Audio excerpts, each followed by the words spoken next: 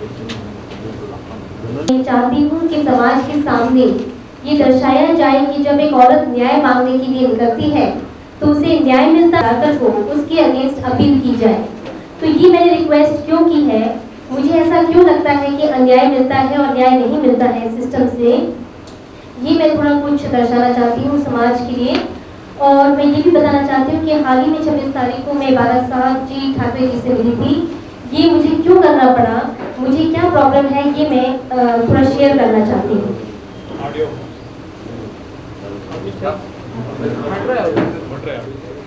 मैं यहाँ कहना चाहती हूँ कि औरत एक जननी है वो जन्म देती है औरत सोसाइटी की फाउंडेशन है। और जिस समाज में औरत का सम्मान नहीं होता उसकी उठाई हुई आवाज़ का सम्मान नहीं होता वो समाज प्रगति की ओर अग्रसर नहीं हो सकता। जो आदमी दूसरों की बहन बेटियों की इज़्ज़त के साथ खिलवाड़ करता है शोषण करता है, वो समाज के नाम पर कलंक है, जो औरत के शरीर से उसके विश्वास का और उसकी आत्मा का बलात्कार करता है, ऐसे दरिंदे को कड़ी से कड़ी सजा मिलनी चाहिए, ताकि हर औरत समाज में सुरक्षित रह सके और सर उठा के जी सके। औरत एक सेक्स ऑब्जेक्ट नहीं है, भगवान ने उसे भी आदमी की तरह दिल, दिमाग और आत्मा दी है, और जब एक बलात्कारी को या एक शोषण करने वाले आदमी को सड़क पर घूमने की खुली छूट दी जाती है एंटीसिपेटरी बेल दी जाती है तो ये पूरे समाज का बलात्कार है। आज मैं 22 जुलाई 2004 से आज तक के सफ़र के बारे में आपके सामने नंगा सच रखना चाहती हूँ। मैंने एफआईआर लॉन्च किया मधुर भंडारकर के खिलाफ। ये बलात्कार का और जान से मारने का नॉन पेलेबल वारंट था एफआईआर में साफ़ लिखा है कि शादी और लीड रोल के झूठे वादों से शुरू हुआ रिश्ता कैसे बलात्कार में this is the FIR copy of which has been given ये वो फिल्मी बलात्कार नहीं जिसमें कपड़े फाड़े जाते हैं, बल्कि मुझे डरा के, धमका के शारीरिक संबंध जारी रखने को ज़बरदस्ती मजबूर किया गया और ये कानूनी तौर पर बलात्कार है। एफआईआर की कॉपी मैं आपको देती हूँ। 23 जुलाई को नॉन पेलेबल यानी जिसमें बेल कतई नहीं मिलती, ऐसे वारंट पर भंडारकर को अंतरिम जमानत मिली। ये अंतरिम जमानत की कॉपी है। जस्टिस बाचा ने ये लिखा है कि पुलिस केस की रिपोर्ट लेके ही नहीं पहुँची। इसलिए चार दिन की अंतरिम जमानत मिल रही है। भारतवर्ष में शायद ये पहला ऐसा बलात्कार का केस होगा जिसमें बलात्कारी को अंतरिम जमानत मिली। यानी कि जो अरेस्ट 22 या 23 तारीख को हो जाना चाहिए था, वो 23 तारीख को इसलिए नहीं हो पाया कि जो रिपोर्ट थी, जो पुलिस के पास दर्ज थी, वो कोर्ट तक पहुँची ही नहीं, जस्टिस वाजा के सामने रखी ही नहीं गई। अंतरिम जमानत पर आज़ाद भंडारकर ने मुझे दिए वादे के मुताबिक मीडिया को गुमराह करना शुरू किया। मुझ पे लांछन लगाए और मानहानि की। पहले तो ये कहा कि मैं उसको ब्लैकमेल कर रही हूँ, जबकि सच ये है कि ऑडियो टेप पर वो मुझे कह रहा है कि एक प्रोड्यूसर को ढूंढ कर लाओ जो उसे 80 लाख रुपए दे। मुझे तो ऐसा प्रतीत हो रहा है कि वो मुझे ब्लैकमेल कर रहा था। इसी टेप में वो ये भी कहता है कि बिना शोषण के तो वो किसी लड़की को काम देता ही नहीं। फ़िल्म में काम देने और शोषण के मिश्रण में वो विश्वास रखता है। वो ये कहता है कि ऐसा तो होता ही है। Work in pleasure go together इसी कैरेक्टरलेस आदमी ने एक सुहेल खान को भी जनता के सामने खड़ा कर दिया। मैं आपको ये बता दूँ, जो मुझे हाल ही में पता चला है कि सुहेल खान प्रिया राजवंश की हत्या के समय उसका बॉयफ्रेंड था। वो अपने से बड़ी उम्र की औरतों के साथ संबंध रखता है, जो दौलतमंद है। प्रिया राजवंश हत्या के ट्रायल में वो एक सस्पेक्ट था क्योंकि उसके अंडरवर्डिंग्स बताए गए थे। इसके अलावा क्राइम ब्रांच क्रॉफर्ड मार्केट ने उसकी तहकीकात की थी पिछले साल कि वो भारत के खिलाफ है, आतंकवादियों को पनाह देता है और उनको शक था कि उसका हाथ था अभिनेत्री सिमरन की बहन मोनल की खुदकुशी में। उनको ये भी शक था कि उसका हाथ था शिरीन मिस्त्री, एक अधूरी औरत की पिछले साल हुई खुदकुशी में। आप ही बताइए कि ऐसे आदमी को कोई लड़की ब्लैकमेल कैसे कर सकती है? लेकिन जज को गुमराह करने के लिए ऐसा दर्शाया गया।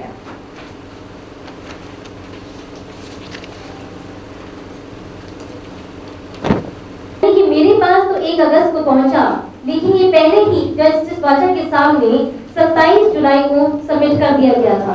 अब इसका अर्थ क्या इस लीगल नोटिस का अब मैंने ये उत्तर दिया है सुहेल खान को कि मैं बहुत अच्छे खानदान को बिलोंग करती हूँ। मेरे पिता फॉरेन सर्विस से हैं। मैंने हाल ही में यारी रोड में 12 मार्च 2004 को अपना फ्लैट खरीदा है। सुहेल ने फ्लैट खरीदने के बाद ये कहा कि वो दहेज में विश्वास रखता है। ट्वेंटी सेंचुरी में भी निशा शर्मा जैसी लड़कियों के बाद वो ये कहता है कि दहेज में विश्वास रखता है और तभी शादी करेगा जब मैं अपना फ्लैट उसके नाम कर दूँ। मेरे नकारने पर उसने कहा कि वो उसी लड़की से शादी करेगा जो मुझे 10-12 लाख रुपए दहेज में देगी। मैंने लिखा है कि मुझे शोहर खरीदने की ज़रूरत नहीं है और वो एक्स्ट्रा म्यूज़िक डायरेक्टर है, जिसकी कोई कमाई नहीं है और जो अपनी माँ और भाई पर निर्भर है। ये अजीब लीगल नोटिस और एक्शंस भयभीत होने के कारण है, क्योंकि टीवी के माध्यम से ये देख के कि मैं भंडारकर के खिलाफ एफआईआर दर्ज किया है, उसे लगा कि अब अगली बारी उसकी है। मैंने इस खत में अफसोस ज़ाहिर किया है कि ऐसे आदमी को मैंने अपना दोस्त या प्रेमी समझा और मुझे उसे शादी में बिल्कुल कोई दिलचस्पी नहीं है। खैर, केस पे दोबारा आते हैं। 29 जुलाई को भंडारकर के वकील ने जज के सामने कहा कि मैंने संदीप रोड़ा नामक फोटोग्राफर को भी ब्लैकमेल करने की कोशिश की थी। ये बेबुनियाद आरोप लगाया गया जज को गुमराह करने के लिए। संदीप रोड़ा ने भंडारकर के कहने पर उसका गलत समर्थन किया जबकि उसके पास कोई भी ब्लैकमेल का सबूत नहीं था। यानी भंडारकर की सहायता के लिए नकली एविडेंस पेश किया गया। 26 अगस्त को मैंने ये मानहानि का नोटिस भेजा है। ये मानहानि का नोटिस मैंने भेजा है क्योंकि उसने नाजुक वक्त पर लांछन लगाकर मेरी मानहानि की और एंटीसिपेटरी बेल हियरिंग को गलत मोड़ दिया और जनता की नज़रों में एक सताई हुई औरत को गलत दिखाने की चेष्टा की। और ये भी बेबुनियाद अफवाह फैलाई, अपनी सस्ती पब्लिसिटी के लिए कि उसने मेरा पोर्टफोलियो किया है, जबकि मेरा पोर्टफोलियो नामी फोटोग्राफर्स गौतम राजेंद्र और जयेश सेठ ने किया है। मेडिशन मुझे पैसे में नहीं, माफ़ी में दिलचस्पी है, क्योंकि इस तरह तो औरत पर कोई भी आदमी आरोप लगा सकता है। जब उसके पास कोई प्रूफ ही नहीं है वो इस तरह से किसी की मानहानि कैसे कर सकता है? आप ही मुझे बताइए भंडारकर को भेजे गए लीगल नोटिस की जो इतनी चर्चा हुई है, वो लीगल नोटिस पुलिस को दिया था? उनको उस नोटिस से कोई भी आपत्ति नहीं हुई और उन्होंने बलात्कार का एफआईआर दर्ज किया। उसमें ये नहीं लिखा था कि वो, आप भी ये जानते हैं कि कोई भी डायरेक्टर या प्रोड्यूसर एक लड़की को 48 घंटे के अंदर तो साइन नहीं कर सकता। एक 420 चीटिंग जो हम उस पर लागू करने वाले थे हम ये नहीं चाहते थे कि कल को खड़े होकर वो ये बोले कि मैं पांचवी फ़िल्म में आपको लेने वाला था लीड रोल में। आपके पीछे जाने की सजा हुई थी। जस्टिस आर अग्रवाल ने अपने 1976 के फैसले में कहा था कि उसके पिता एक एंटी नेशनल और एंटी सोशल एलिमेंट हैं और भंडारकर के घर में किस तरह की खाई जा रही है। माननीय अमर सिंह जी ने कहा था पिछले साल एशियन एज के मुख्य प्रश्न पर कि भंडारकर एक फ्रॉड चीज़ हो जाता है। मैं हर औरत से विनती करती हूँ, अगर आपका बलात्कार हो या शोषण हो तो आप कोई विश्वास नहीं है, जो हर 12 घंटे बाद अपनी बात बदलता है। दो आदमियों को लीगल नोटिस भेजने का मतलब यही है कि दोनों आदमियों ने गलत व्यवहार किया है। मेरी प्रकृति है कि अब मैं नाइटन मेन लीड में बिकाऊ है, जिसके डायरेक्टर बी आर इशारा है। जिन्होंने पहले रीना रॉय पर बाबी सारिका रेहाना सुल्तान, शत्रुघ्न सिन्हा, विजय अरोड़ा कि मुझे अपना चेहरा छुपाना चाहिए।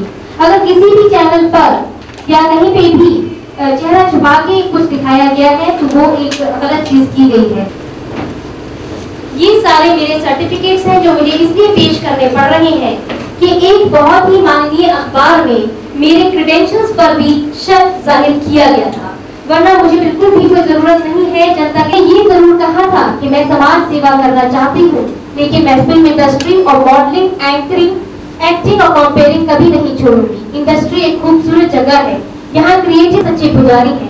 मेरी प्रॉब्लम केवल भंडारकर से के सामने लाना हर पत्रकार और चैनल का फ़र्ज़ है, और आपकी कलम में और रिपोर्टिंग में वो शक्ति है जो समाज में अवश्य जागृति ला सकती है।